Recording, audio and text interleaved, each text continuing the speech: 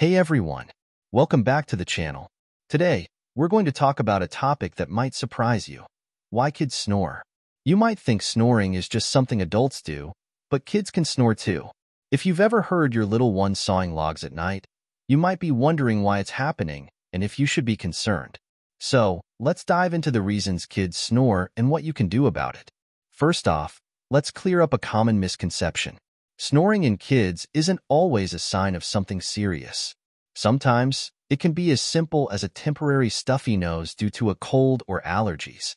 When the nasal passages are blocked, it can cause the tissues in the throat to vibrate, leading to that familiar snoring sound.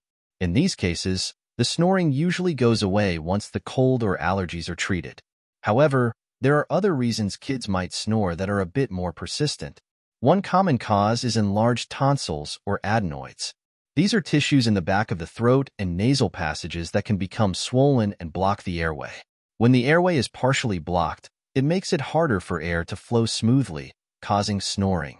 If you notice your child snoring frequently and they also have difficulty breathing through their nose, it might be worth checking with a doctor to see if their tonsils or adenoids are the issue. Another reason kids might snore is due to obesity. Extra weight, especially around the neck, can put pressure on the airway and make it more likely to collapse during sleep. This can lead to snoring and even sleep apnea, a condition where breathing stops and starts during sleep. If your child is overweight and snores, it might be a good idea to talk to a healthcare professional about healthy weight management and the impact it could have on their sleep. Speaking of sleep apnea, it's a more serious condition that can cause snoring in kids.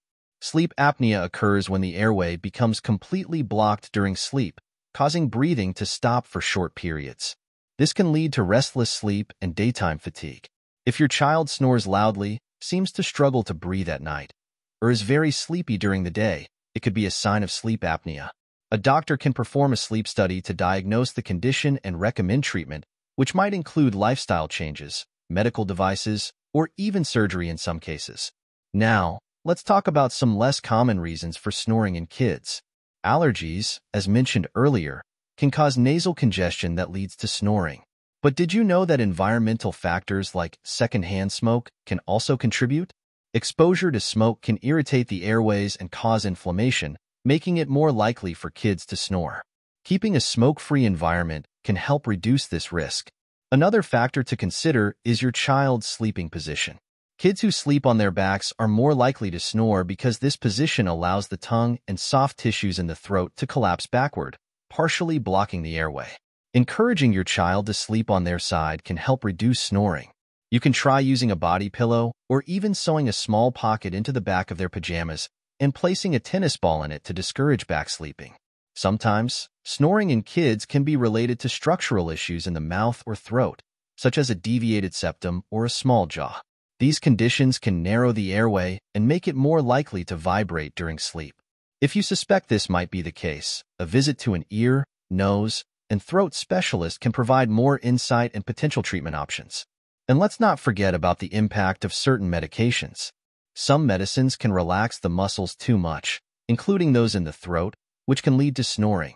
If your child has started a new medication and you notice an increase in snoring, it's worth discussing with their doctor to see if the medication could be the cause.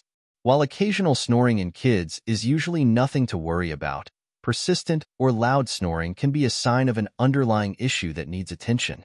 Addressing the root cause of the snoring not only helps your child get better sleep, but can also improve their overall health and well-being. So, there you have it, a look at some of the reasons why kids snore. From temporary stuffy noses to more serious conditions like sleep apnea, there are many potential causes. The key is to pay attention to the patterns and other symptoms your child might be experiencing and consult with a healthcare professional if you have concerns. Now, I'm curious, have you noticed your child snoring? What steps have you taken to address it, and what worked best for you? Share your experiences in the comments below, and let's get a conversation going. And if you found this video helpful or interesting, please remember to like, share, and subscribe to the channel for more insights and tips. Until next time, sleep tight and take care.